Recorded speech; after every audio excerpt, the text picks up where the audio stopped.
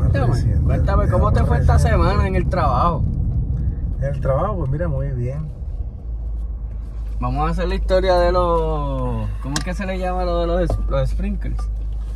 Los sprinkles, va, eh, adiantre. Vamos a hacer esa historia, gordito. Hice, hice el experimento otra vez en otra casa y me cayó en las piernas y no fue tanto, fue la pierna. Hice así, pap, mira la tortuga, ay Dios mío, se puede morir. No, pero le dan paso, aquí son muy buenos samaritanos.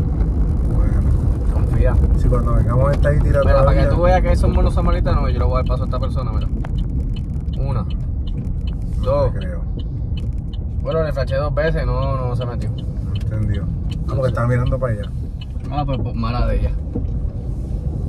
Bueno, Pues resulta que el pana mío, ¿no? ustedes saben los sprinklers estos que ponen en las casas para tirarle agua a las plantas, para regar las plantas y mantenerlas saludables.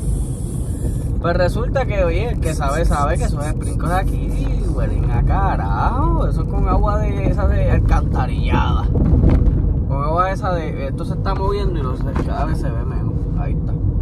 Pues con agua de esa alcantarillada, con olor a mojón. Pues, ¿qué pasa? Que el pana mío llega a una casa a entregar un paquete. Para los que no saben, nosotros somos paqueteros. de los mejores. Pues somos paqueteros, estaba entregando un paquete en una casa y me lo sprinkle, hace calor, sol.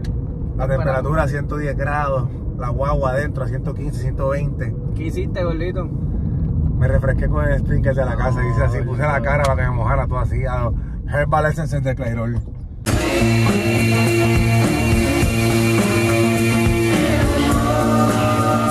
No. Me quité el gorro y dice